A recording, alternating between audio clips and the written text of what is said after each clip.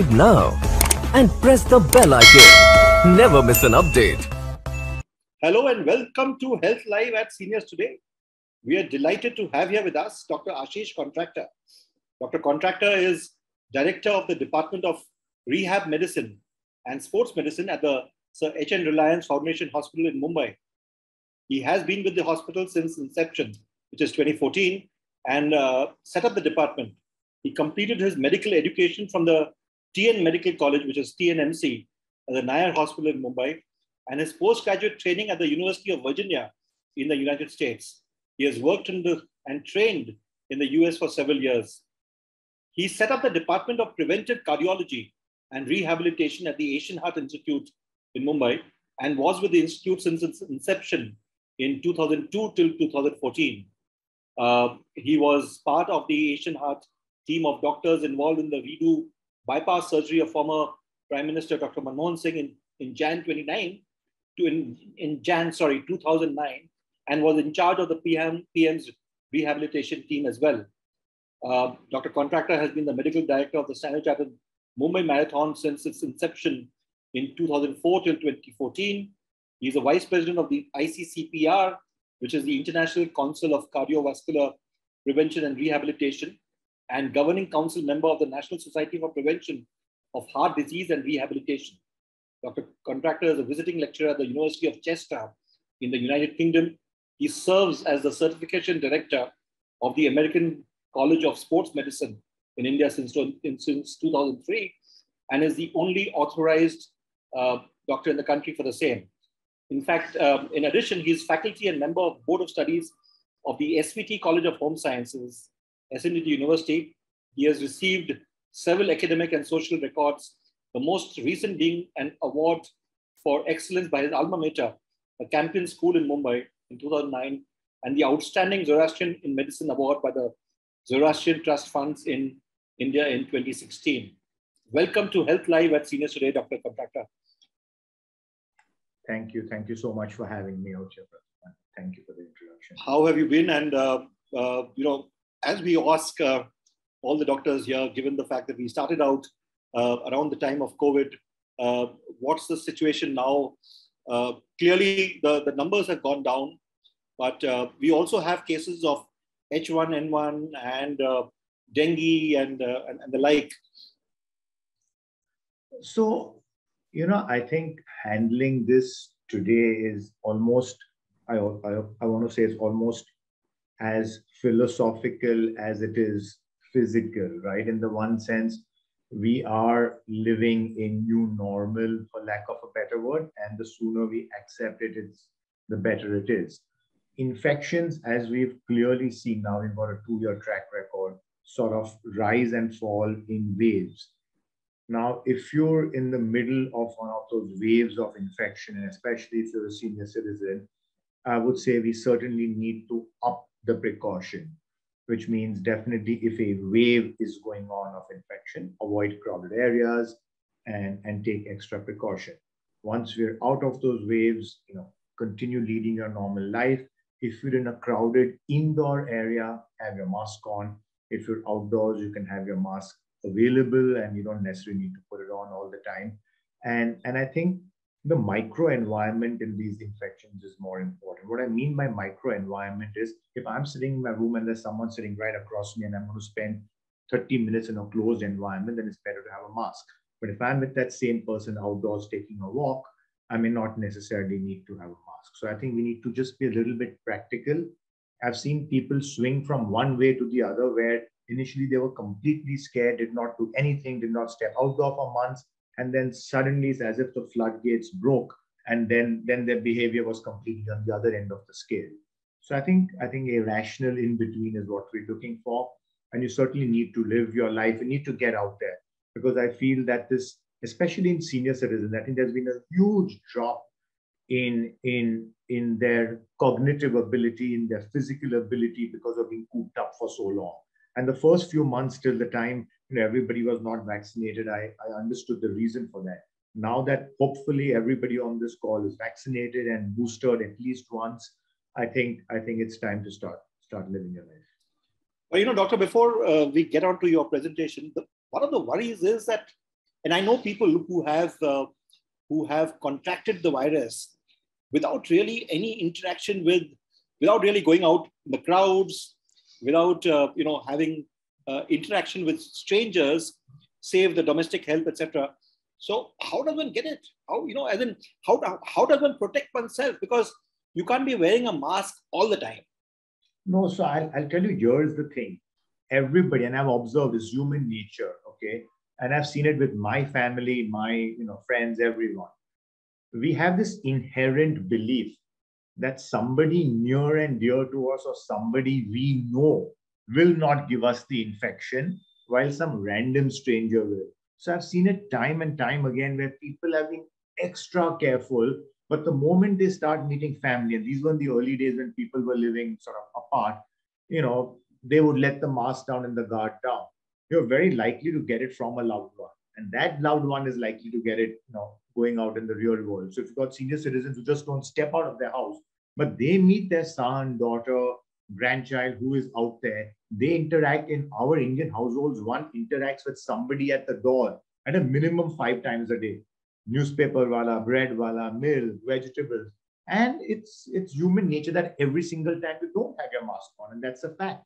So every time somebody's told me, oh, they've not stepped out of the house, you sit and you analyze with them for 10 minutes and you realize they are having unmasked interaction. So, you know, it doesn't come by magic. It does come with unmasked interaction with somebody. Sometimes, yes, you may be unlucky and maybe a very short interaction and you may still get it. And, and at other times, um, you don't get it. So it, it doesn't just come. When you analyze it, there's always been something. Absolutely. I agree with you. I, I think uh, the, the, the fact of the matter is that we are not unmasked all the time. Uh, great, doctor. Uh, so over to you for uh, your, your presentation. Those of you who have questions for Dr. Aashish Contractor, please put them in the Q&A tab. As always, uh, uh, put your age and your gender so that Dr. Contractor could give you a considered reply. But before you put in your questions, please do look at the presentation. Please do look at uh, what he has to say and then you can uh, put ahead.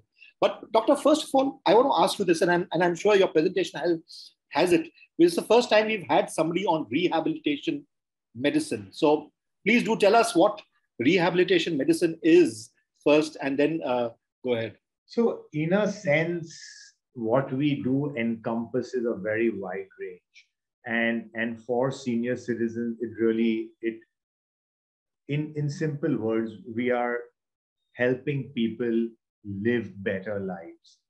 You know, almost everybody has some, if I might say so, ailment which reduces their physical or sometimes mental ability, whether it's a neurological ailment, cardiac ailment, uh, pulmonary ailment, all of those, right? And our center works to get them better. I have a simple one line motto, which I've used all my life in my, my clinical practice is I want to get you better than before. So if you come to me with a problem, I don't want to get you back to where you were just just before you had the problem. I want to get you better than what you were even before the problem because most people do not live very, if I might say so, conscious and healthy lives. And unfortunately, sometimes it takes a problem like a heart attack to make the person wake up and then start leading the next 10, 15, 20, 25 years of their life in a much in a much better manner. So in rehab, we look at all the body systems, and I'm going to cover some of them in this presentation and help people become better than before. And if you're one of those few and unlucky people who have no ailment, then fantastic. Continue doing what you're doing. Maybe we can give you some tips to be reach even a higher level. So. I'm going to start my presentation. Yes, I'll, I'll, I'll share my screen and I'll talk for approximately 20 odd minutes. Hopefully, I'll cover cover some new ground, cover areas which you've not heard. I was, you know, was talking to me about this fantastic series that you all have been doing, and it, and it looks like you've heard from from lots and lots of doctors. So hopefully I'll be covering some new ground and I'll get started. Pradhiman, I assume you can see the screen? Yes, we can see the screen. Thank you. Over to you. So today I'm going to talk about this sort of question of, you know, who is old, what is old, what are some of the common disorders that, that one might face, what is a basic exercise prescription you can do to, to keep yourself healthy and talk a little bit about balance and fall prevention because this is a very prevalent problem in seniors, and we'll end with some conclusions. So, you know, I've often found people, you know, two extremes. I, I you sometimes find people who are 55 and 60 years old and they they they consider themselves old. And then you got people who are 80, 85 and you know, sprightly and full of good health. So what are some of the definitions? You know, the Geriatric Society said today, within the old, so you're 60 to 69, or some people define it as 65 to 75, is your young old. Okay, so you're still young within the old category. Once you're crossing 70 to 79 or 875 to 85 is your middle old. And more than 80 or more than 85 is when you're old, old, or the oldest old, as they say. So all of you who are on this call and who are, you know, below 70, you're still young, okay? So just do not think of yourself as old. Um, what's life expectancy in our country? This is data I accessed from the WHO website today itself, and the last time they updated it, they said was December 2020. Japan has the highest life expectancy for both sexes, and the average is 84 years. US, which surprisingly is, is not even in the top 30 in the world, is is 78.5 years, and India, which falls somewhere between 130 and 140 in the world, is about 71 years. That's the basic life expectancy, the average age of everybody who's born in the country. They have another interesting definition, which we call as health adjusted life expectancy. Okay. It's HALE is the acronym, which means how many years can one expect to live in a healthy, disease free manner. And that number is about 75 in Japan, about 66 in the US, and 60 in India. So if we look at it in another way, an average of 10 years in the Indian context, people will live, but not in a very healthy fashion, right? Now, that's what we want to avoid. When I say we want to avoid, meaning we want to have good health right till the very end.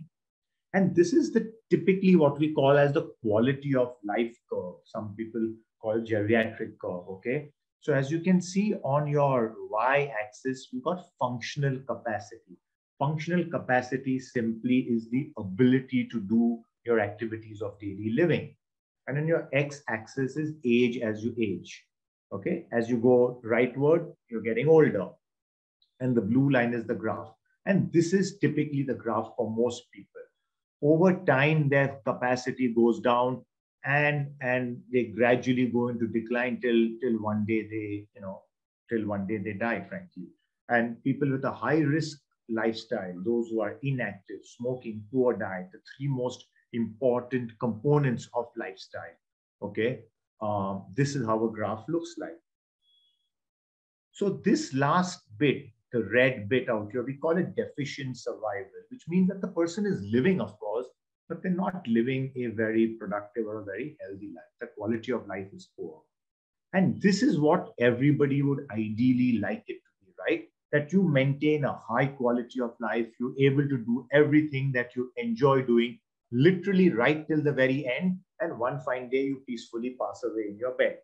I mean, this doesn't usually happen, but this is what would be ideal. And a person who leads a low risk lifestyle, an active person, a non smoker, someone who eats healthy, there's more chance of this happening. So as Aldous Huxley famously said a while, you know, several years ago, the goal is to die young, but as late as possible, right? In other words, to be healthy up to the very end. There's a nice National Geographic issue a while ago, it's 2005, where they studied different regions of the world where people lived the longest okay, where people, the regions where they commonly had people crossing 100 years of age. And they said, what are some of the common uh, factors of these groups of people? And let's look at what they found.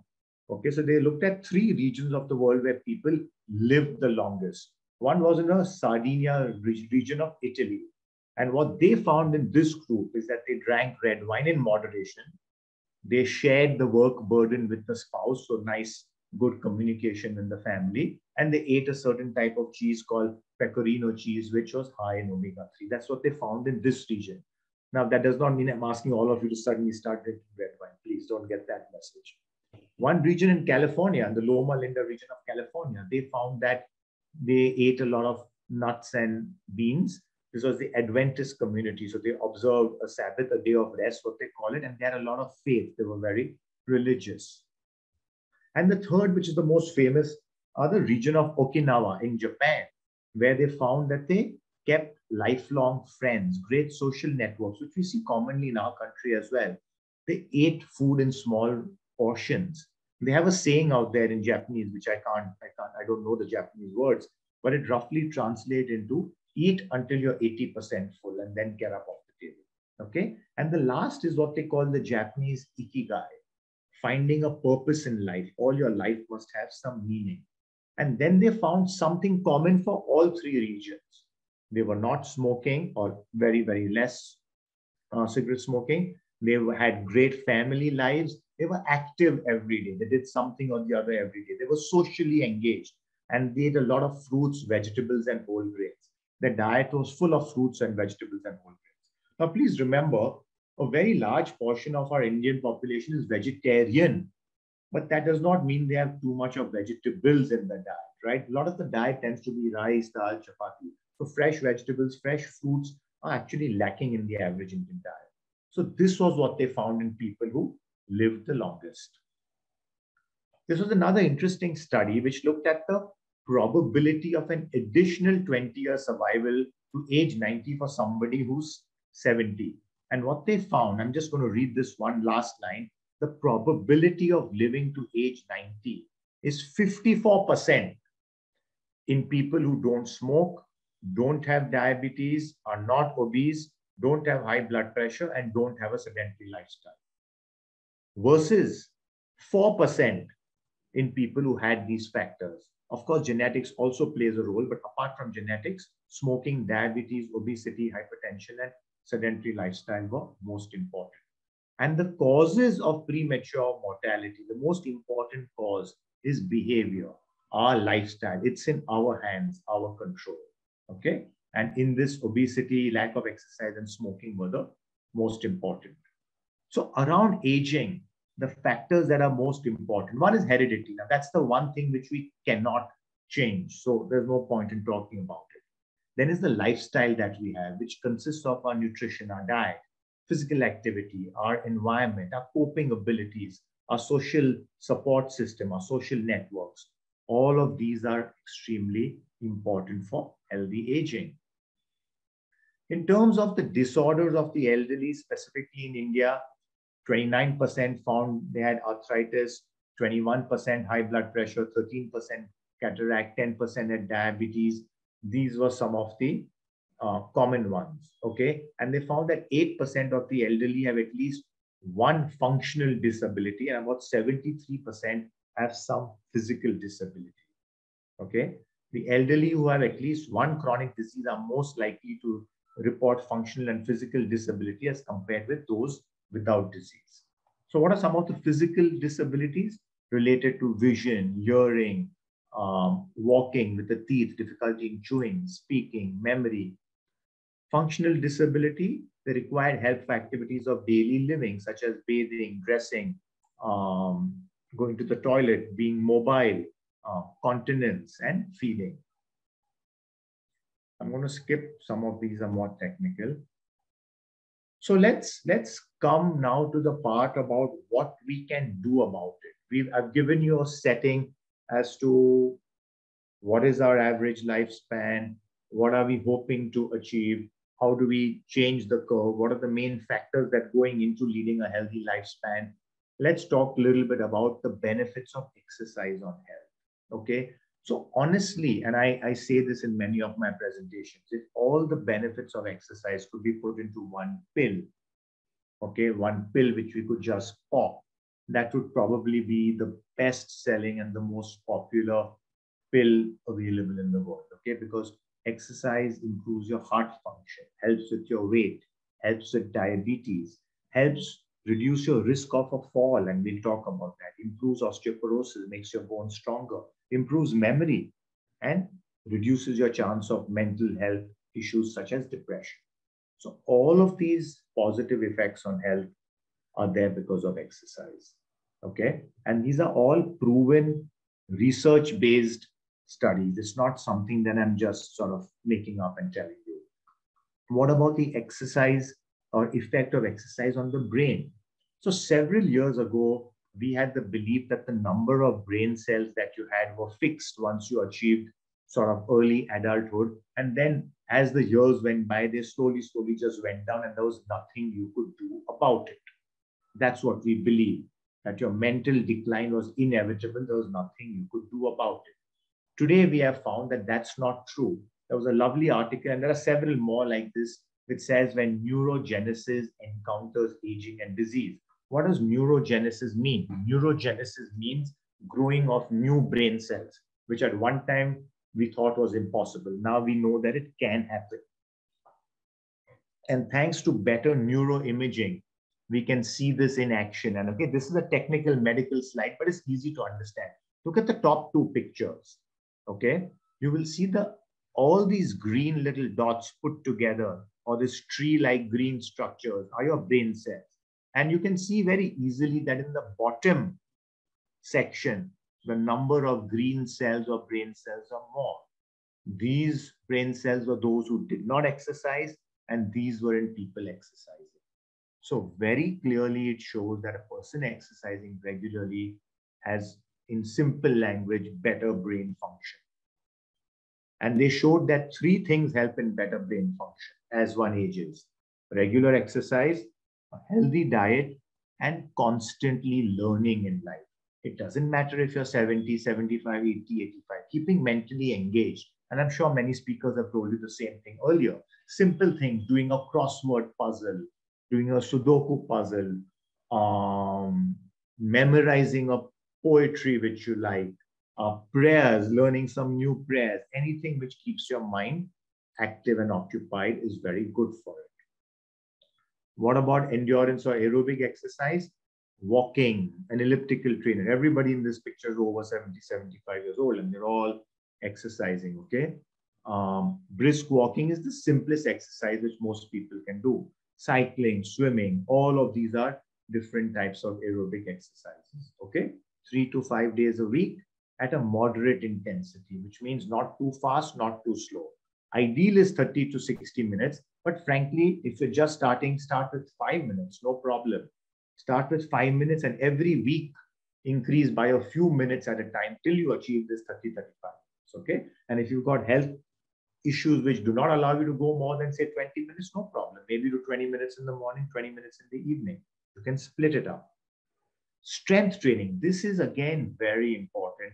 And this is a neglected area. Everybody thinks that Umar how can you lift weights? No. In fact, I think for older people, strength training is as important, if not more important, than aerobic training. Because as you age, your muscle mass goes down. So you need to lift light weights to preserve muscle mass. Why do you need muscle mass? You don't need it to look like Salman Khan or to take out your t-shirt. You need it for activity of daily living. You go to the grocery shop to buy some groceries.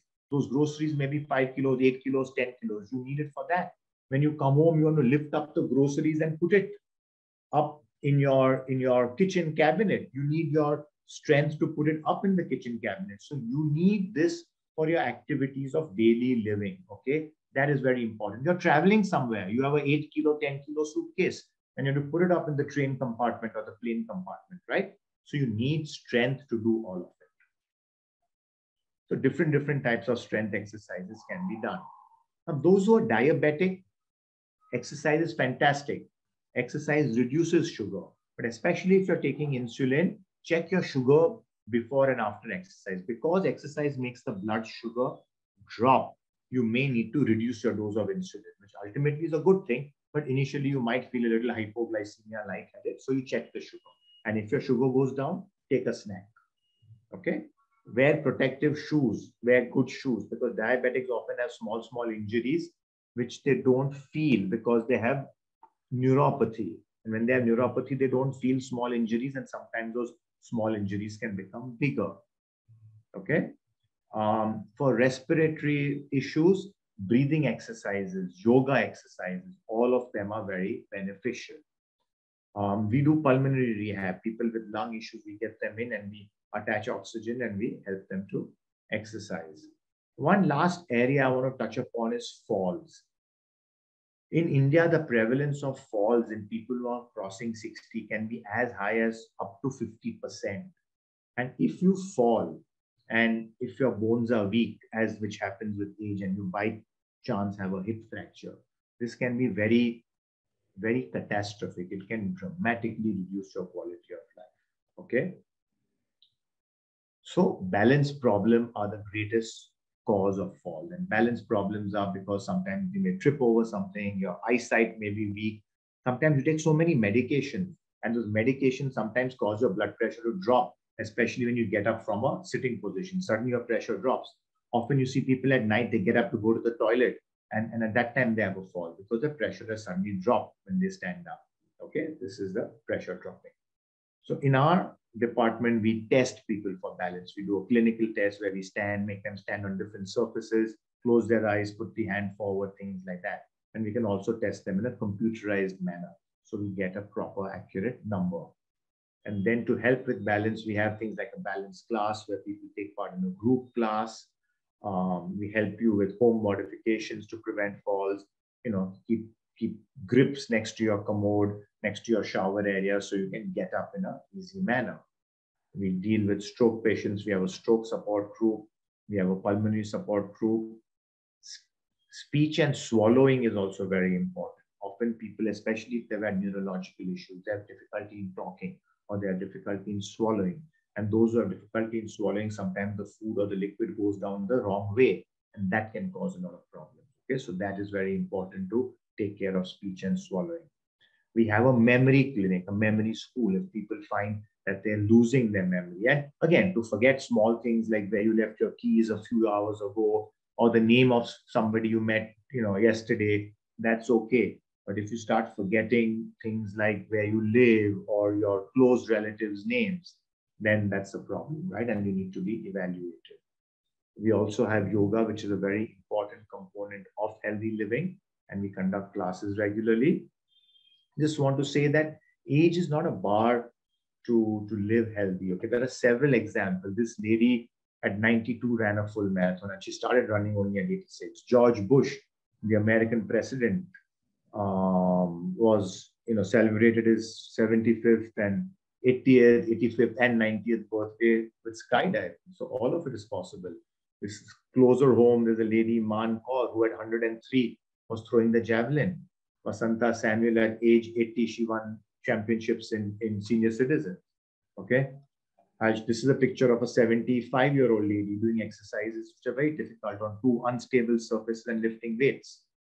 And I'll tell you a little secret. This lady in the picture is my mother. So there is no reason why at any age you can't be you can't be physically active. This is a picture of some of our patients with heart disease running, you know, taking part on the World Heart Day run. This is a picture of Fauja Singh at 100. At age of 100, he ran the full marathon. And I, I, had the pleasure of meeting him when he visited Mumbai as the brand ambassador of the marathon about, I think, six to seven years ago. So, bottom line is that we are here, our team is here, and, and all of you can live healthy. Um, you need to have a team of people working with you, your physical therapist, speech therapist, nutrition is very important, yoga, your doctor, and and at the center of it all is, of course, you, the patient, and the family member. So the message, the take home message is, is very simple. Everyone can lead a healthy life, everyone can improve their quality of life. It's not very difficult. Uh, you can achieve it.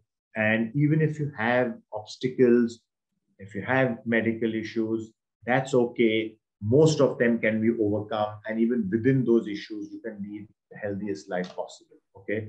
So that was my message to you, and I'm, I'm very happy to answer any questions you may have. Thank you very much, Dr. Contractor. I think a very good and uh, detailed presentation that you had.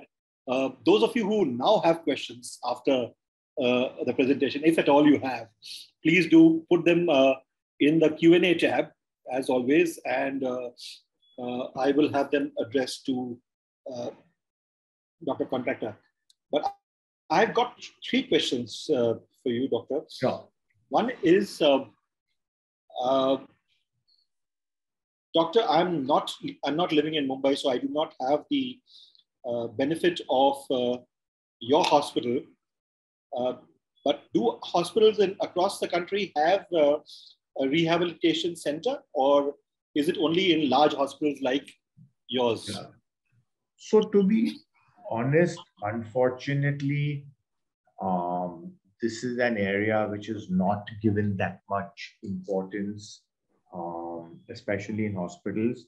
And for one very simple reason that space is always a crunch, especially in our, our metro cities, and, and they find it easier to set up something else instead of a rehab center. But if you have, sometimes you may not have the space, but if you have a right team who has the right training and the right mindset to work with the patient and give them good advice. There's no reason why you can't do all of these things at your own home. But you need a motivating and a nurturing set of clinicians who will hold your hand and guide you as to what's the what's the right thing to do what's the optimal thing to do right? I mean it's all very easy. We all know we must exercise we must take care of weight we must not smoke we must eat better. We all know that. There is nobody on this call today who doesn't know that but how to actually do it is when you need a team to kind of give you the right and motivating advice for it. Doctor, we have one more question. What is the difference between rehabilitation and physiotherapy? Okay, that's a very good question. Um, rehabilitation is looking at the person in a very holistic manner and looking at every aspect of their physical and mental well-being to get them better, right? Physiotherapy is one component. So, as part of our rehab team, the physiotherapist is a very, very important person, but it's not the only person. So for example, if you had a stroke, a physiotherapist is very important to get you back, you know, your physical aspects, but you'll also need a nutritionist to help with your diet. You'll also need a speech therapist to help you get your, your speech proper if that's been affected. Um, you will need what's ideally what's called a clinical psychologist, or sorry, rather a neuropsychologist who will assess you from a neurological uh, angle and cognition. So all of them form part of the team, and the physiotherapist is a very important person as part of the team. So typically, what is the kind of uh, qualification that one must look for, especially in smaller cities, uh, you know, where one can be sure that uh, the person in question is uh, is qualified? Because a lot of physiotherapists also are not medically qualified doctors, so to say, right? Correct. No. So I think, like in, like frankly, in every walk of life, it's not just for medicine, right? It's important what the person has been trained for and what they claim. Now, that even applies to a doctor. So, if you've got somebody who's a gastroenterologist, he may be the world's best gastroenterologist. But if he says I can do brain surgery, that's just wrong. Correct? So, a general physiotherapist has got basic training to deal with all body physical aspects. But if that same physiotherapist starts prescribing detailed medication for your stroke and all, that may not be correct. So everybody needs to um, needs to respect the boundaries of their knowledge and deal within it. Then this comes experience. Now somebody may have done so. For example, a, a general physician but he spent 20 years of his career working in a neurological specialty hospital. Though he, have, he may have qualified to be a general physician, yes, he would have experience in dealing with neurological patients. So the experience of the person counts as much as just what their basic qualification is. Right. Uh, doctor, there's a question which has come in from someone who says, I do not have, uh, I have just checked, I do not have a rehab uh, uh, uh center in my city which is Coimbatore. Uh, is it possible to take a, a teleconsult uh, advice from uh, from somebody like yourself? Yeah, yeah, sure. Today, I mean, there was no reason it couldn't do it earlier, but COVID, frankly, accelerated, right? I mean, there was no reason we could not have this meeting pre-COVID. It's not that COVID invented video conferencing, but thanks to COVID, this has become commonplace before COVID, we would never really be doing this. But now, thanks to COVID, we're doing this every week, right? So, absolutely, we can do 90, but not 90, but maybe 70% of the things we do physically out here, we can even do it, you know, by video conferencing, except for certain specific, like if somebody's got a bad stroke and we need to give them physical help to make them do things, we may not be able to. But we also work with local people. So there are so many example stroke patients we work with across the country where in their smaller town they have their local therapist who's there, but on video is one of our people, and they're constantly talking to each other. And and guiding them what to do. So a, a short answer to your question is yes, we certainly can help most people even via video consult, giving them advice, which then do on their own. A lot of the times we're actually doing it live. So let me see if I can show you. We work with some patients where we've got instruments where, if I can show it to you right now, where we can monitor their ECG even remotely. I've got a small instrument where they put it around their chest and we can monitor their ECG remotely. So I've got patients who had heart issues all across the country and we can live monitor their ECG and they can be exercising in their own home while we are looking to see if everything is okay and what's the next step we tell them to do. So absolutely yes. Great, thank you. We have a few questions from uh, Mr. Sandeep Jain. His first question, and which is interesting, is how does a veg- vegetarian cope with deficiencies of minerals and vitamins? Do you suggest any specific supplement on a regular basis for bone and body strength? So, in general, um, most people can get everything that they need for their bodies from nutritious food that they eat, including vegetarians. Okay. Now, if some people have very restricted diets, the one area where vegetarians sometimes struggle is protein. But especially in India, milk form and milk products form a very large part of our diet, which are great sources of protein. Um, but otherwise, minerals, vitamins, they could all be got through through regular uh, regular diet. I don't think you have to supplement beyond a certain age, some doctors may, may address you, and especially in ladies, um, at the time of menopause, they might give you a calcium supplement. But otherwise, on a routine basis, I don't I don't recommend supplements across the board for everybody. If a particular person has a particular deficiency, I might supplement, but not on a blanket basis. Right. Thank you. We have uh, uh, Mr. Jain again, who says any suggestions for knee pain that suddenly occurs on climbing stairs but eases out as activity is complete. Uh, is this an issue? And he has another another thing which is not perhaps linked. When I get up in the morning, just for three to four seconds, there's a crumpled feeling in the feet which goes away when out of bed. Is this normal? So let's let's look at the first question first. Yeah. Any so suggestions for knee pain? So now knee pain, um, one of the commonest causes of knee pain especially when one is aging, right? And and being a sort of a seniors today conference, I'm just taking for granted that most people are 55, 60 and above.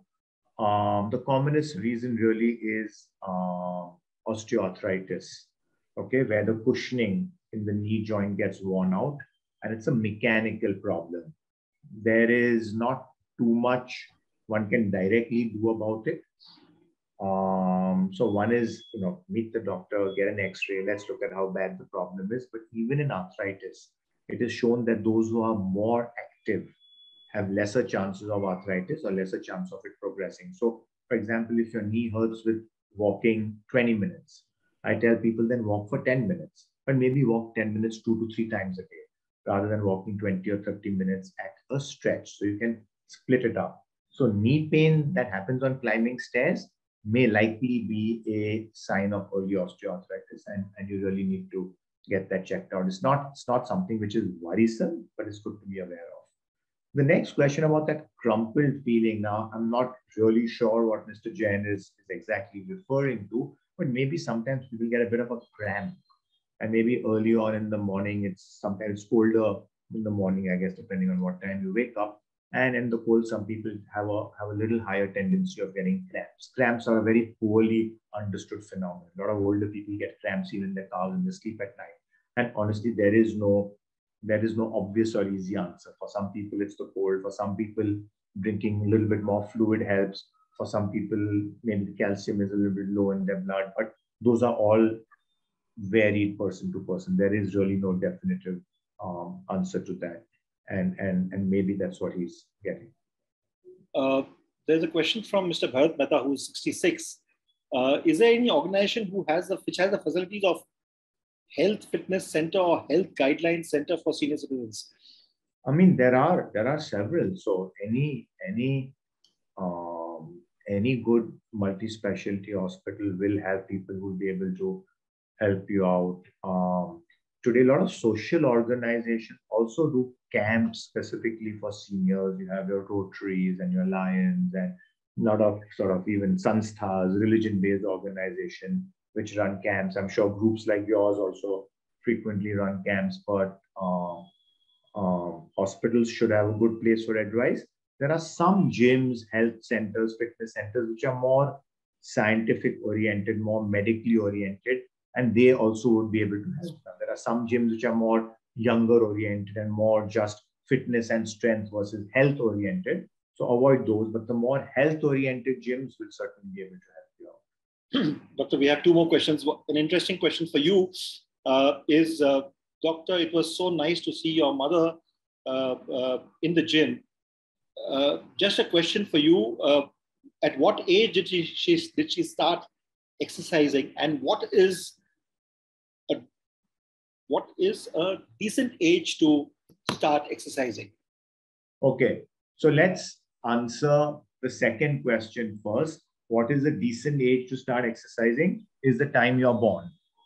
Okay, so that's the age to start exercising. In fact, children are the most active. And I, I mean, I'm saying it in a light-hearted manner, but I mean it. And I have, because I've got this interest, I've actually observed. And those of you, you know, if you're senior citizens, I assume your kids are beyond age of five and 10, but you'll have grandkids who'll be in that area. Watch your grandchildren. If you've got especially two or three grandkids, watch the ones who are, say, four, five years old versus the ones who are, say, seven, eight years old versus, say, 10, 12 years old versus, say, 14, 15 years old. Okay. Like sort of groups of two to three, three years. You will see that once they are five, six, and they are very independently moving around, they will almost all of them, they will run from room to room they will rarely walk from one room to another. They'll be out in the playground. They'll be running even small distance. The doorbell will ring. They'll go running to the door. Um, you will come and visit them. They'll run to you. When they're seven or eight or nine, that running will reduce, but they'll still walk around the door. And when they're 14, 15, 16, they are like this all day long and they barely look up and they'll barely move where you are. Okay. So we were born to move. And somewhere along the way life makes us you know highly highly sedentary okay? So move more avoid sitting. So all of you are on the call with your video off while listening to calls like this right? Put on your volume a little bit louder. Pace up and down. Now this call maybe say one hour. I'm not saying walk for an entire hour. But walk for five six minutes during the call then sit down for five minutes again walk five six minutes again sit down you'll have got so many activities you know i, I wear a, a, a step counter and and every time I teach a lecture in a outdoor, I mean, in a classroom setting, not on a Zoom setting, in a three hour lecture, I'll have covered four and a half, 5,000 steps. Half my day steps are over just by pacing up and down five feet here and five feet there. Okay. And to answer your first question, my mother, I think, took up exercise in a fairly, if I may use the word, serious manner apart from school days and she's a she's a practicing doctor she started i think at the age of 30 she used to run on marine drive in the early 1980s uh, five to eight kilometers when it was completely bizarre or, or, or strange to see a woman run and that to run, not just take a walk. Okay, so that that that answers. Yeah, I, I guess this question is basically, I, I think he was perhaps trying to ask as to how late can one start. Okay, I'll answer the opposite question. How late can you start? You can start at any age. There have been studies, and I'm not exaggerating, who studied individuals who started, and hear my words, who started exercise at the age of 90.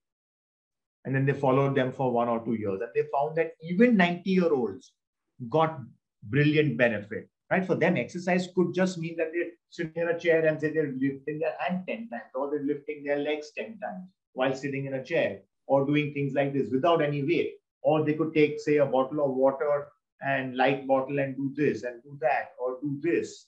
So there is no age which is too late to start exercise. None. And again, this is all been proven through research. It's not something that I'm just telling. Uh, doctor, one last question. I, I know it's a slightly unfair question to ask, but it's, since it has been asked, uh, I may as well do that. How expensive is teleconsult for rehab as compared to a face-to-face consultation? So, so first point is whatever we do out here, and of course, we're not not trying to um, at all promote what we do in any way. um, I, I, must say that for a, if I may use the word high tech, you know, fancy, lovely hospital, we're not expensive. Let me let me let me put that across. Our teleconsult charges are um, are similar, are about depending on what we do. So often we do one-on-one with say like a stroke patient or a cardiac patient for an entire hour. So those charges are the same as what we would do when a person comes in person. Sometimes we do group sessions. So we have three people or four people or five people.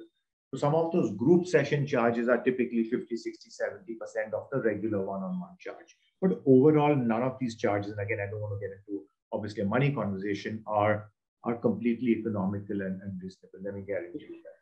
What we'll do, doctor, is when we, uh, so we typically, we not typically, we always carry uh, the edited uh, video of this session along with takeaways, which is, uh, uh, you know, just for your information, written by a written by a qualified medical practitioner. Lovely. And these are put on uh, on Monday uh, on on the website.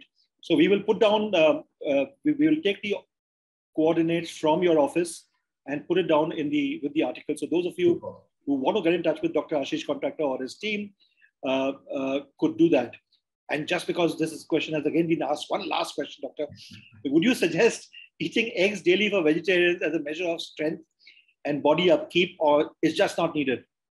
So let me let me put it this way. If you are, if I may use the word culturally comfortable with eating egg and it's not, you know, you're not very uncomfortable, um, egg is definitely, especially if you're vegetarian, I think it's a fantastic source of protein.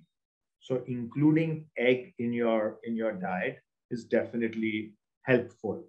If, however, you are are not keen or you are averse to eating it, that's also okay. There are other proteins which can supplement. You know, one of the things about this non-vegetarian thing, and since you are also into sports medicine, is I remember reading about uh, uh, you know people going into for tennis training to Hyderabad, and the coach there insisting that you that some of his uh, you know uh, uh, uh later you know award-winning students uh, you know, switch to non-vegetarian food. So I guess that's perhaps one of the reasons. But but it's it's good that you that you've said that vegetarians don't need to need to really worry about uh, uh, losing out on uh, on key you know constituents of a healthy diet. Thank you very much, uh, Dr. Aashish Contractor, for this session. It was excellent. I I really wish we had done a session on rehabilitation medicine much earlier. We should have perhaps started out with a, with a session like that. But thank you very much. And uh, we would love to have you once again. And, Anytime. Uh, uh, you know, to, to your team at uh, uh, which has facilitated this, a big thank you. And we will be back once again with Health Live at Seniors Today next Saturday at 5 p.m. Subscribe now and press the bell icon. Never miss an update.